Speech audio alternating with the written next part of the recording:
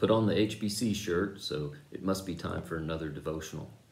I thought today we'd go back and look at James 1 4 a little more in depth and once again explore why we can count it all joy when we face various trials in our lives. Uh, and secondly, I thought maybe we'd finish being very practical about what type of situations and trials we are to endure and persevere in versus what kind of situations maybe we should escape and, and flee from. Uh, so James 1 4, remember, reads, And let steadfastness have its full effect, that you may be perfect and complete, lacking in nothing.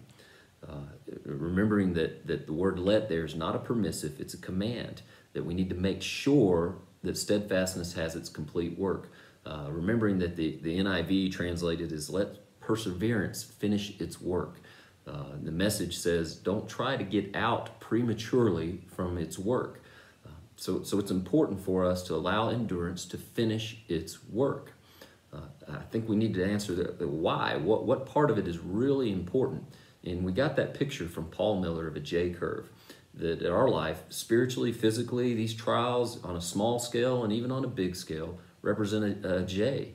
Uh, that our suffering leads to death, which then can lead to resurrection and exaltation. But if we try to get out of suffering, if we try to get out of our trials too early, what we miss out on is the resurrection. Uh, it seems like a, a no duh statement to say that, that without a death, there is no resurrection. But when we cut our suffering, when we cut our deaths short, we, we short circuit our resurrection. And the resurrection is key. Paul tells us that we are amongst all people to be most pitied if there is no resurrection.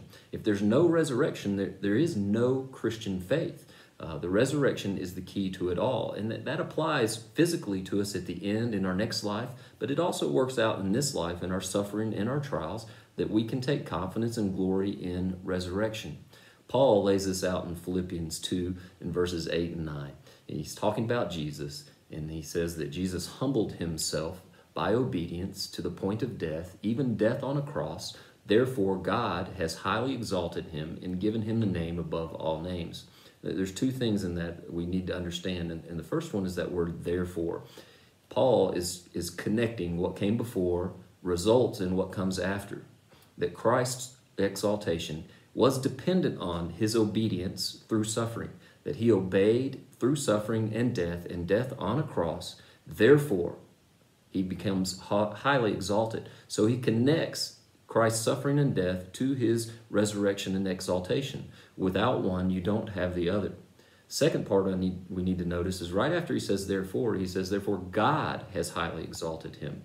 God is the one responsible for our resurrections, not ourselves. Now, I doubt many of us have tried to raise ourselves from the dead because we haven't been in that situation. But, but even in our everyday life, when we face trials and tribulations, we try to resolve it. We try to resurrect ourselves in those situations, whether we try to defend our name, uh, whether we try to answer things physically or by uh, through health issues, we try to bring about resurrection when it's all dependent on God. And if we allow Him to have His finished work, if we are faithful on the obedience through the death and suffering part, He is faithful to resurrect us, to exalt us, and to bring that about in our lives. So I think that calls for some discernment on our part then. Am I supposed to face every adversity and just get through everything that I, it comes in my life? Or am I allowed to flee some things? You know, Paul in Acts 14 in Iconium, him and Barnabas hear that the, the locals are going to stone them, uh, and they flee. They go to other cities. Uh, so there are times that, that it's okay to flee persecution. It's okay to flee trials and tribulations. How do we know the difference? How do we know when to flee versus when to endure and persevere? Well, I think James 1 5, once again, is key to that, that, that we pray to God for wisdom. We need God's wisdom to understand those situations, to face those situations. His wisdom comes through prayer, it comes through knowing His Word, it comes through fellowship with other believers that can help inform us whether this is a situation to endure, persevere in, or it's a situation to flee in. There are some practical things we can consider, though, uh, and there's two I want us to consider. Uh, one is when we've given our word.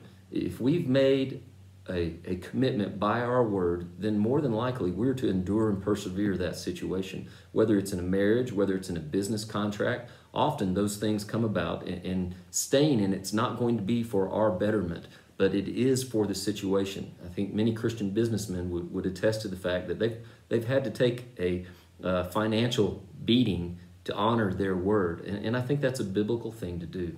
Secondly, is when we're under an obligation because of love. Uh, we know we are to love God and man. Uh, that's our, our great commandment. Sometimes that love requires us to do things to endure, to persevere, even to our own detriment. Think of Jesus in the garden. He prays for to be delivered from this, but nevertheless, he obeys and is obedient to death on the cross because of his love for God and his love for us. Love demands action, and it often demands action that causes our own death, that causes our own suffering. But we're under that obligation. That, that played out in the early church. David's told us about how church grew in Rome because of the plague. People fled, but Christians stayed and cared for them. Happened in the Reformation with Luther. Uh, during in Germany, there was a plague. He stayed and he encouraged other pastors to stay and serve out of love. Love can obligate us to endure, to persevere through suffering.